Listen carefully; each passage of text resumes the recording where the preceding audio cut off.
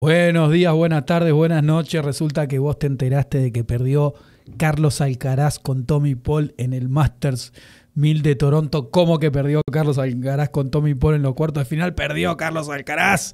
Entonces sintonizás Vea Tenis, te subís a la batineta y escuchás al Colorado para que me explique cómo puede haber sucedido esto. Si yo pensé que Carlitos era campeón, número uno del mundo, número uno de la race, viene a ganarle a Djokovic en Wimbledon, estamos todos de la cabeza arriba del Caraneta, pero pero se quedó afuera de este torneo y he traído los motivos. Vamos a ir por partes.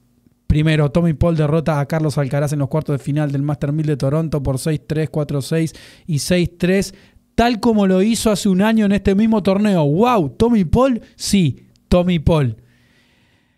Wow, para muchos es el verdugo de los españoles. Le ganó un montón de, de, españoles. En los últimos 14 partidos ganó 13 frente a españoles. Davidovich, Bautista Wood, Landaluce, Álvarez, Barona, Verdasco, Nadal, Carreño, Alcaraz, Ramos. Parece que los españoles le tienen miedo a este muchacho.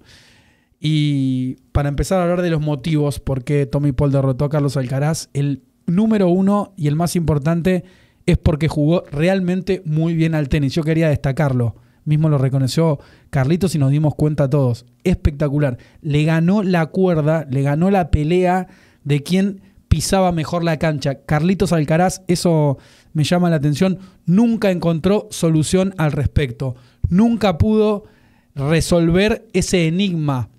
Tommy Paul se subió encima de la devolución y nunca le dejó pisar la cancha a Alcaraz. Siempre mandaba a él y Alcaraz tenía que defender sacaba y enseguida tenía la bola encima. Ojo, que esto es algo que seguramente los rivales estén teniendo en cuenta y van a tomar nota porque Urcax le jugó parecido, Marozán en su momento le jugó parecido, que es otro de los verdugos de, de Alcaraz en este 2023.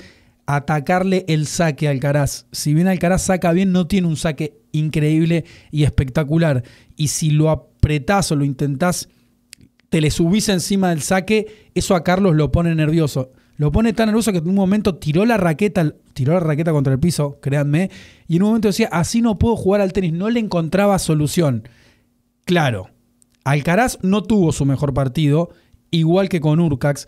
Ya lo vimos como falto de confianza. Es verdad que estuvo lejos de su mejor nivel.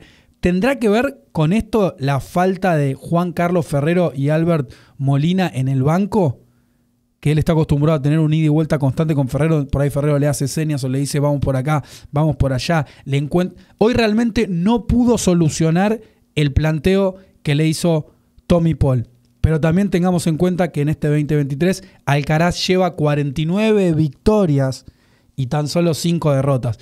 Es lógico que pueda perder, es lógico que pueda perder. Viene de ganarle a Djokovic en Wimbledon, eso es un montón es un chaval de 20 años, necesita procesar, no nos vamos a volver locos. La verdad es que lo queríamos ver campeón en este Masters 1000 de Toronto, pero también hay que tener en cuenta que puede tener un mal torneo y a él, no sé si se puede decir que lo vimos saturado, pero estoy seguro de que él está apuntando al US Open, seguramente también a Cincinnati, así que vamos tranquilos, como siempre, me encanta escucharlos, leerlos, que me dejen acá sus sensaciones, sus puntos de vista qué pueden sumar a este análisis que no haya dicho yo. Lo cierto es que nos quedamos sin Alcaraz en este Masters 1000 y lo vamos a extrañar, porque para la audiencia, para los videos y para todo lo que respecta al tenis a la batineta, Alcaraz es muy importante.